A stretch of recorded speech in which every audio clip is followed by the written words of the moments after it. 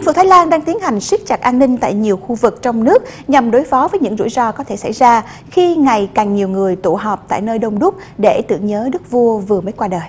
Sự ra đi của đức vua Phumifol Adunzadeh sau 70 năm tại vị được xem là mất mát to lớn đối với người dân Thái Lan.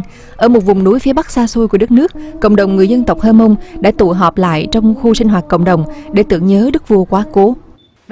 Tôi đã khóc nhiều và thậm chí không ăn uống gì trong những ngày qua. Trong khi đó, tại thủ đô Bangkok, ngày càng đông người tập trung về cung điện để thể hiện lòng thành kính của mình đối với vua Phumifol.